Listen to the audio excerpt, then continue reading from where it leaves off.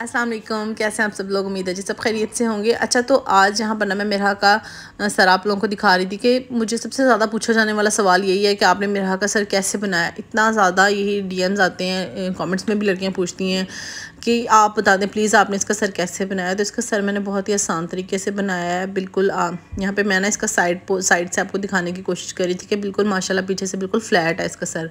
पर इसने ना नहीं देखने दिया। जहाँ को कैमरा जाएगा, वहाँ को मेरा की नज़र जाएगी। तो चलें जी, वीडियो स्टार्ट करते हैं।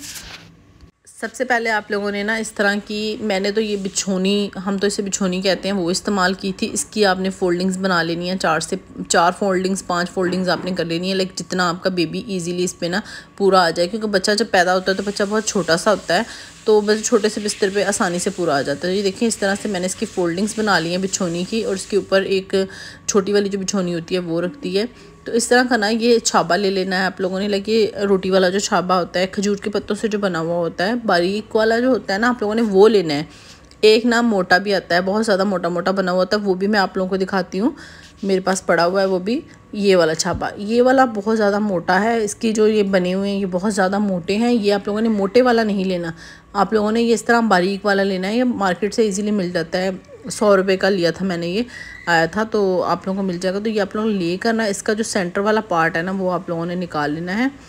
जो दरमियान से हिस्सा होगा। ठीक है, ये देखें। इस तरह से मैंने इसका वो जो बारीक वाला मैं लेके आई थी ना, उसको मैंने कटिंग करके निकाल लिया था और इसके साइडों पे ना कपड़ा लगा लिया है ताकि इसके जो पत्ते निकलते हैं ना, वो बच्चे को लगे ना और इरीटेट ना हो। लगा के ना आपने कपड़ा अच्छे से इसको सारा सिलाई कर लेना है। तो यहाँ पर मैंने इसको सिलाई कर लिया। तो ये जो बाल होते हैं, जब हम कंगी करते हैं तो हमारे थोड़ा बहुत जो हेयर फॉल होता रहता है तो वो मैं डस्टबिन में नहीं डालती। वो मैं इस तरह जमा करती रहती हूँ। तो वो जो है ना, इस तरह बाल जो लेकर ना इसके ऊपर, सुई के साथ अच्छे से मैंने सिलाई कर दिए थे दबा दबा के, ताकि बाल निकले ना इस पर बिल्कुल अटैच रहें। ठीक है, इस तरह से ये आप लोगों ने बच्चे के सर के नीचे रखना है। अच्छा दूसरा ये है कि मार्केट से जो आसानी से चूल्हे मिल जाते हैं, लकड़ी का चूल्हा होता है, मट्टी का चूल्हा होता है, अगर आप लोग वो यूज़ करना चाहें, आप लोग वो यूज़ करें, कोई ऐसा मसला नहीं है, पर मैंने जो है ना, ये वाली ईंट यूज़ की थी, मैंने कोई भी चूल्हा इस्तेमाल नहीं किया। मैंने एक लकड़ी का स्टार्टिंग में ट्राई किया था, पर उसमें मेरा ना लेटती नहीं थी, जैसे मैं इसके सिर के पीछे लगाती थी ना तो बड़ी अजीब तरीके से गर्दन घुमाना शुरू कर देती थी, और पता नहीं क्यों बड़ी अनकम्फर्टेबल हो जाती थी वो तो उसमें वो ना चार दिन भी नहीं लेटी। नहीं, फिर मैंने ना ये वाली ईंट मुझे किसी ने बताई जो मेरी दाई अम्मा आती होती थी ना मेरा का मसाज करने के लिए, उन्होंने फिर मुझे बताया कि तुम ये रखो ना। तो फिर ये ईंट मैंने बाहर से मंगवाई तो उसको मैंने अच्छे से वॉश करवाया वॉश करवा के ना, इसको आप लोगों ने ना फोल्ड कर लेना है। इसकी फोल्डिंग का तरीका भी मैं आप लोगों को बताती हूँ। पहले एक सिंपल कोई भी कपड़ा ले लें, पुराना हो, जो भी हो कपड़ा, कोई इस तरह से ले लें। मैंने मेरा की ये चीनिंग शीट थी, ये यहाँ पर मैं यूज़ कर रही हूँ। अच्छा एक फोल्डिंग ना आप लोगों ने इसकी बना लेनी है इस तरह से। इसको ना टाइट कर करके आप लोगों ने फ़ोल्ड करना है लाइक लूज़ नहीं छोड़ना ना स्ट्रेट करना है बिल्कुल। अच्छा एक फ़ोल्ड जी हमने इसमें कर लिया, अब दूसरा फ़ोल्ड हम करेंगे दूसरे कपड़े में। ये वाला कपड़ा जो है ना लाइक थोड़ा सा मोटा है मतलब बहुत ज़्यादा मोटा भी नहीं है, थोड़ा सा ऊन वाला स्टफ़ होता है ना वो वाला ये कपड़ा था तो इसमें आप लोगों ने फ़ोल्ड करना है, क्योंकि इसमें ना पसीना अच्छा आता है बच्चे के, सर के साथ अटैच होता है ना तो पसीना सही से आए। तो कपड़ा आप लोगों ने उस हिसाब से लेना है, जिससे बच्चे को ना पसीना आए और थोड़ा गर्म कपड़ा हो। तो उसमें वो आप लोगों ने लेकर सेम उसी तरह से जैसे हमने पहले फ़ोल्ड किया, उसी तरह से सीधा कर करके कपड़ा आपने इसकी इस तरह फोल्डिंग्स बना लेनी है। जब बच्चों का सर बनाना होता है ना तो कोशिश किया करें कि बच्चों का बिस्तर सेपरेट से एक साइड पर ही हो, ताकि बच्चा कम्फर्टेबल तरीके से सोया रहे। ठीक है, यहाँ पर जी रखना आप लोगों ने इस तरह से है, बिस्तर रख लेना है, उसके पीछे आप लोगों ने इस तरह ईंट को रख लेना है, जो जो पीछे सर वाला हिस्सा है, वो ईंट के साथ अटैच हो जाए। उसके बाद ये छाबा ले लेना है, इस पर आप लोगों ने ना खूब सारा ऑयल लगाना है। लाइक जितनी बार आपका बच्चा उठेगा, जितनी बार आपने बच्चे को लटाना है, आपने ऑयल लगा देना है, ठीक है? यहाँ पर बच्चे के ना सर को भी ऑयल लगाना है। इस पर आपने दिन में एक बार ऑयल लगा दिया है ना तो नेक्स्ट टाइम जितनी बार आप बच्चे को उठा के दोबारा से लटाएँगे ना तो आप लोगों ने बच्चे के ना सर के पीछे हिस्से पे ना ऑयल लगाते रहना है। तो इस तरह से यहाँ पर इसको सेट कर देंगे थोड़ा सा बिस्तर के नीचे कर देंगे ताकि बच्चे की गर्दन पे लगे ना। अच्छा उसके बाद आ जाती हैं स्वेडलिंग आपने बच्चे को स्वेडल कैसे करना है? एक तो ये मार्केट से मिल जाती हैं स्वेडल्स ये आप लोग, अगर आप लोगों का बच्चा इसमें लेट जाए तो आप लोग ये ले लें। वैसे मेरी, मेरा इसमें नहीं लेटी थी। इसमें ना बहुत छोटा बच्चा नहीं लेट सकता। लाइक वो टांगे इकट्ठी कर लेता है। और बच्चों छोटे बच्चों की टांगें बिल्कुल सीधी करके उनको बांधा हुआ हो ना तो बच्चा पुरसकून तीन से चार घंटे तक सोया रहता है। ठीक है तो ये स्वेडल्स वैसे इस स्वेडल में अगर आप लटाना चाहें तो इस तरह लटा कर आप लोग बच्चे को स्वेडल करें और इस तरह बिस्तर पर लटा दें। पर ये मेरे, किसी काम नहीं आई थी, बस ऐसी पड़ी हुई क्योंकि मेरा इसमें लेटी नहीं थी, वो हाथ भी बाहर निकाल लेती थी और सारी ना इकट्ठी हो जाती थी। मेरे ये स्टार्टिंग में तो किसी काम नहीं आई, जब मेरा हाथ दो माह की हो गई थी, उसके बाद मैं कभी कभार इसमें इसको लटा देती थी, ताकि वो डरे ना और पुरसकून तरीके से सोई रहे। मैंने मेरा को किस तरह बांधा है वो मैं आप लोगों को बताऊँगी कि मैं उसको किस तरह से बांधती थी। अच्छा आप लोगों ने कोई भी कपड़ा ले लेने है कोई भी दुपट्टा ले लें। मैं यहाँ पर अपना दुपट्टा उठा के लाई थी आप लोगों को दिखाने के लिए, क्योंकि जिसमें मैं मेरा को बांधती रही थी, वो कपड़ा काफ़ी लंबा था। लिया था सेपरेट से मैंने बनाया था ना, वो मुझे इस टाइम मिल नहीं रहा था। तो फिर मैंने बस ये दुपट्टा लिया ही मैं आप लोगों को समझाने के लिए।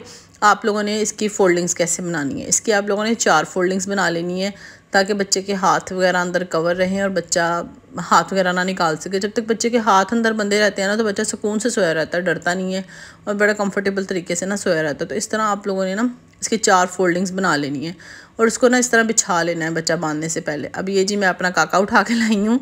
अगर काके ने मुझे बांधने दे दिया, मुझे यहाँ पे ये था, ये शोर डाल देगी, ये बांधने नहीं देगी, पर शुक्र अल्लाह का चुप रही खैर, आप लोगों ने इस तरह बच्चे को लिटा लेना है शोल्डर्स के बराबर कपड़े को ले आना है। इस तरह से, यहाँ से आप लोगों ने बच्चे का ना स्ट्रेट करके एक हाथ आप लोगों ने इसके मतलब सीने पे रखना है और इस तरह से प्रेस डाउन कर देना है। उसके बाद दूसरा हाथ, उसी हाथ के ऊपर रख के आप लोग इधर से उस तरफ़ को बाँध देंगे, जिस तरह मैं बाँध रही हूँ। अच्छा नीचे लाकर आपने राइट वाला लेफ़्ट में ले जाना है लेफ़्ट वाला राइट में ले आना है। इस तरह से क्रॉस में कर देना है। उसके बाद ना, अब मेरा तो माशाल्लाह बड़ी होगी ना, जब छोटा बच्चा होता ना तो वो टांगे सीधी नहीं कर रहा होता। तो आप लोगों ने बच्चे की टांगे बिल्कुल आराम आराम से पकड़ के सीधी स्ट्रेट करके पाँव के साथ बिल्कुल पाँव को मिलाकर फिर आप लोगों ने ना बच्चे को बांधना है। तो यहाँ पर देखिए, इस तरह से आप लोगों ने ना बाँध देना है। मैं यहाँ पर बांधने लगी थी, पर ये कपड़ा ना छोटा था, दुपट्टा था तो मेरा माशाल्लाह बड़ी भी हो गई है तो अब नहीं बांधी जा रही। थी जो छोटा बच्चा होता है, वो तो खैर दुपट्टे में बांधा जाता है। अच्छा उसके बाद ना आप लोगों ने कोई भी वज़नी कपड़ा ले लेना है, कोई भी ब्लैंकेट ले लें, कोई भी चादर ले लें वज़नी, कुछ भी थोड़ा सा जो वज़न हो ना उसका तो आपने उसकी ना इस तरह फोल्डिंग बनाकर ना बच्चे के सीने पे और टांगों पे डाल देनी है इस तरह से। तो बच्चा ना बड़े सुकून से सोया रहता है, टांगे नहीं उठाता ऊपर को, क्योंकि छोटे बच्चे तो फ़ौरन से टांगे ऊपर उठा लेते हैं। तो आप लोगों ने ना ये मैंने, मैं क्या करती थी, इस तरह से मैंने कोई भी सेपरेट सी चीज़, इस तरह एक कपड़ा रख लिया था, बस उसको इस तरह फोल्डिंग करके ना तो ये मैंने मेरे हाथ की गर्दन के नीचे ना तकरीबन डेढ़ माह तक मैंने ना इसको पूरा दिन रात इसी तरह सुलाया था। उसके बाद जो है ना, फिर मैंने डेढ़ माह के बाद जो है मैं दिन में गर्दन के नीचे कपड़ा रख के सुलाती थी और रात में ना गर्दन के नीचे से कपड़ा हटा देती थी, सिर्फ़ साइड्स पे कपड़ा लगा देती थी। पीछे से आपने बिल्कुल अच्छे से प्रेस कर देना है, सर के साथ अटैच कर देना है ईंट को और इसी पोजीशन में बच्चे को सुलाई रखना है। ईंट लगाने से पीछे ज़रूरी होती है मतलब ईंट लगाएँ या चूल्हा लगाएँ, जो भी आप लोगों को सूटेबल लगे, वो आप लोग लगाएँ। उससे ये होता है कि बच्चे का ना फिर ऊपर को सर निकलता नहीं है। अमूमन बच्चों का इस तरह होता है कि माएँ पीछे से बिल्कुल हम लोग फ्लैट कर लेते हैं और यहाँ से ये वाली जो चीज़ है ना, सर के ऊपर वाली ये निकल आती है। ये निकलने से एक तो बच्चे का चेहरा बहुत ज़्यादा लंबा लंबा लगता है, आपका फेस लंबा लंबा हो जाता है। जो कि अच्छा नहीं लगता। माशाल्लाह मेरा का फेस वैसे भी गोल मटोल था। कुछ सर बन गया है ना, उसका पीछे से माशाल्लाह बिल्कुल ऊपर से स्ट्रेट तो वो और ज़्यादा गोल लगता है। तो अच्छा एक सवाल उनसे ये पूछा जाता है कि मेरा माथा बहुत बच्चों का आगे निकल आता है। मेरा का माथा आपने कैसे फ्लैट बनाया? तो इसकी मैं टिप आप लोगों के साथ शेयर करती हूँ। आपने करना बस इतना है कि बच्चे को जब फ़ीड करवाना है ना आप लोगों ने तो इस तरह, इस पोजीशन में बच्चे को लटा के आपने फ़ीड करवाना है। लेकिन इस तरह से हाथ आपने रखना है कि सर पे पीछे से भी हाथ आ जाए और आगे से माथे पे भी हाथ आ जाए। इससे तो एक बच्चों का सर बहुत जल्दी बन जाता है और ये कि माशाल्लाह बिल्कुल फ्लैट हो जाता है ना सर। तो आपने इस पोजीशन में बच्चे को लेकर फिर आपने इसको फ़ीड करवाना कुछ माएँ इस तरह करती हैं, बच्चे को इस तरह फ़ीड करवाती हैं, जो कि बिल्कुल सही तरीका नहीं है। बच्चों का सर पीछे की तरफ़ निकल आता है और आगे से भी बढ़ता रहता है।